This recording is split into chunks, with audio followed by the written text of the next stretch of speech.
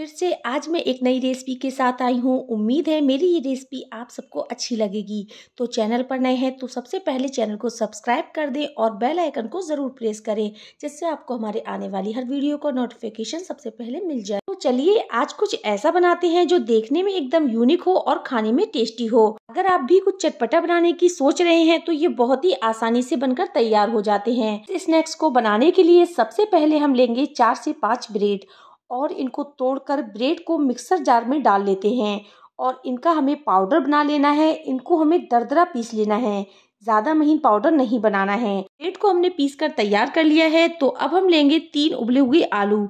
आलू को काट कर बॉयल कर लिया था अच्छी तरह ठंडा कर लिया था और इसको हम मैशर की हेल्प से मैश कर लेंगे तो यहाँ पर आपको इस बात का ध्यान रखना है जो आलू है वो गर्म ना हो ताकि उसके अंदर कोई भी मॉइस्चर ना हो उसको अच्छी तरह से मैश कर लेना है तो यहाँ पर हमने आलूओं को अच्छे से मैश कर लिया है ये देखिए आलू में एक भी लम्स ना हो इस बात का आपको ध्यान रखना है और इसमें हम डालेंगे जो हमने ब्रेड क्रम्स बनाया था यानी कि ब्रेड का पाउडर बनाकर तैयार किया था वो हम इसमें डाल देंगे और इसमें हम डालेंगे हाफ टी स्पून के करीब नमक नमक आप इसमें अपने जायके के हिसाब से कम या ज़्यादा कर सकते हैं और इसमें अब जाएगा वन टी स्पून के करीब लाल मिर्च पाउडर और इसके संग हम इसमें डालेंगे वन फोर स्पून के करीब हल्दी पाउडर और साथ ही में इसमें जाएगा वन टीस्पून के करीब गरम मसाला और इसमें अब हम डाल देंगे वन टीस्पून के करीब चाट मसाला चाट मसाला अगर आपके पास अवेलेबल है तो आप डाल सकते हैं वरना आप इसको स्किप कर दें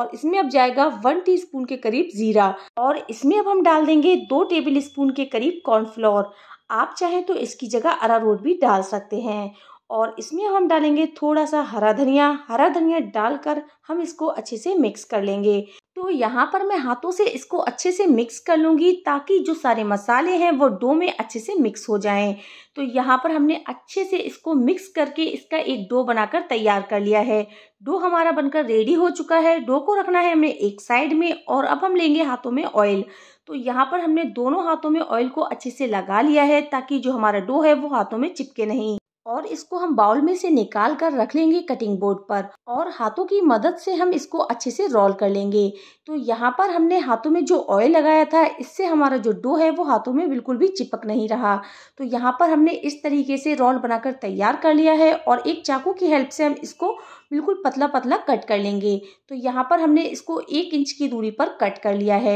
तो यहाँ पर हमने कटिंग बनाकर तैयार कर ली है और अब हम एक पीस उठाएंगे और यहाँ पर हम लेंगे एक फॉक और फॉक की हेल्प से हम इस पर डिज़ाइन बनाएंगे तो ये देखिए बहुत ही ईजिली डिज़ाइन बनकर तैयार हो जाती है जो कि देखने में बहुत ही अट्रैक्टिव लगी रही है बच्चों को तो बहुत ज़्यादा पसंद आने वाली है तो यहाँ पर स्नैक्स में फॉक को आपको बहुत ही हल्के से प्रेस करना है ज़्यादा ज़ोर से प्रेस नहीं करना है अगले प्रोसेस में हमने ऑयल को अच्छे से गर्म कर लिया है गैस की फ्लेम को मीडियम कर दिया है और जब हम स्नैक्स डालेंगे तो फ्लेम को लो कर लेंगे तो यहाँ पर हमने फ्लेम को लो रखा है और एक एक करके सारे स्नैक्स इसमें डाल देंगे और थोड़ी देर के लिए इसे टच नहीं करना है फौरन चम्मच नहीं लगाइएगा जब इसका शेप फॉर्म होने लगे तब इसकी साइड को टर्न करते हुए इसको गोल्डन क्रिस्पी हो जाने तक फ्राई करना है तीन से चार मिनट लगे मुझे इसको एक तरफ से गोल्डन क्रिस्प करने में और सारे स्नैक्स हमारे फ्राई हो गए हैं अच्छे तरीके से दोनों साइड से इसको हम बाहर निकालेंगे तो यहाँ पर आप देख सकते हैं कि कितना बढ़िया कलर आया है देखने में तो बहुत ही ज़्यादा अट्रैक्टिव है ही